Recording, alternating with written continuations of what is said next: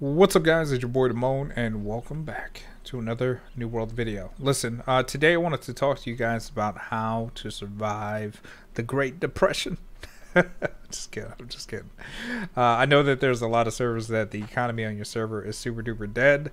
Uh, so I wanted to teach you guys how to navigate that and still come out on top, especially with everything that's been happening. Now for those of you guys who don't know, uh, Amazon recently posted a post. They posted a post or a response to a post that I should say from the forums where they were talking about the economy. Now, TLDR, they basically saying that they're taking steps to ensure that the economy never dies and that it's going to take time for them to sort things out. However, I know a lot of you guys that maybe have read this post, eh, you know, you're probably looking at this and you're like, well, that doesn't really help me, right? Because the response was there's more money being made than there's money being removed right? So that's something that we have to look at. So what that means is, from an economical standpoint, that they're still in the green. But for those of you guys who want to read the full article on this, I will post this in the description box and you guys can kind of read this on your own. Now, what this article does not tell you how to do is how to survive when all your chips are down. I've been talking to a number of people in the stream that have been telling me that most of the stuff on their sell- server is selling for 0.01. That means one penny. And they don't know what to do because they're unable to make money. So, listen, about to teach you guys how to make money right now on your dead server today. We're going to solve all your problems. So just send me a hug, name your first child after me, and we'll call it even. I'm just kidding. I'm just kidding. So anyway, guys, let's go ahead and get into this. As you guys know, server transfers are currently locked but that creates a tremendous opportunity for you, especially if you're on a dying server. Meaning that you probably have 400 to 500 players or less on your server and things are dwindling. It doesn't help that a lot of people on your server probably transferred to a different server, leaving you kind of without your friends and any way to make cash. However, there are still people scrounging trying to make as much money as they can before they leave, which creates a unique situation for you. So, the biggest thing that you guys got to look at is how can you make the best of the situation? How can you turn shit into sugar, lemons into lemonade, vinegar into water? All right. So, the first thing that you're going to do when addressing the situation is you need to create a new character. Okay? Why do you need to create a new character? Because this new character is going to be a placeholder on the server that you plan on transferring to. The purpose of this character is to get information. This character you're not going to keep, you're not going to use it for anything else, you're not going to level this character to 60 or anything crazy like that. You're just going to get this character high enough in order to get through the quest and have access to the trading post. The reason why this is important is, so you can get a better idea of what the items and merchandise is selling for on the server that you're thinking about transferring to. So you already understand that there are certain key items that people are looking for, certain key materials that people don't want to farm, so on and so forth. And your job here is to identify those items that are at a mass inflation. So all the inflation is is just you know basically just these prices are selling for a lot more on the other server you're thinking about going to than the server that you're currently on. So for my people out there that are like, oh man, you know all of the ore and everything on the server is only selling for one cent, and I don't know what to do with my life. So what you do is, for example, is you look at the iron ore and say, okay, iron ore is selling for 0.18 on my server, or let's say for your server it's 0.01 okay?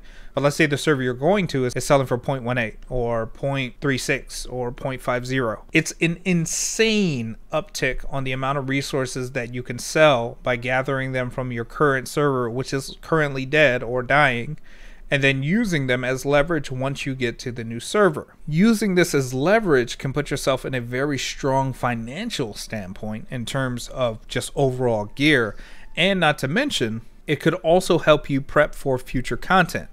So, case in point, runic leather is one of the most valuable things on the server right now. Why? It's because you need a crap ton of this in order to craft your legendary armor requirements. Now, fortunately, on dying servers, people start to get desperate and they're trying to sell their goods for pretty much anything.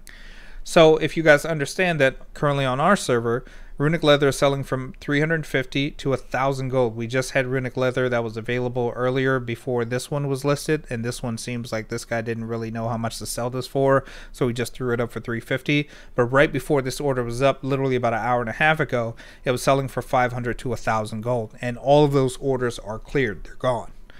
So what I'm saying to you is if you have opportunities on your server where let's say runic leather, void bent ore, void void bent ingots, literally anything that's going to help players get further in their progression that's cheaper on your server than the server that you're going to, which you will have the intel because you created a new character to scout and get all that information for yourself, can make things very interesting.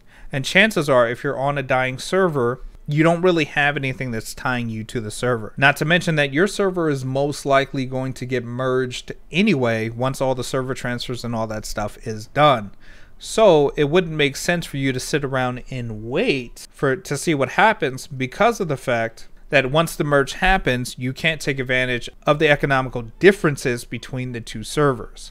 So again, if you're on a server where everything is selling dirt cheap and you know you're not going to be there for a long period of time, you might as well take the preemptive move, farm the gold, get the resources and stuff, take advantage of the fact that all of the farming zones are wide open for you create the resources, level up your skills, get the materials that people will need specifically for like void bent armor and high level recipes and or just overall goods and resources that you know people will buy and then set yourself up to win so as soon as they do open transfers back up, you're ready to go. Setting yourself up to win in New World and or life is all about perspective. So how you look at it will directly determine the amount of success you will or won't have based on your current situation.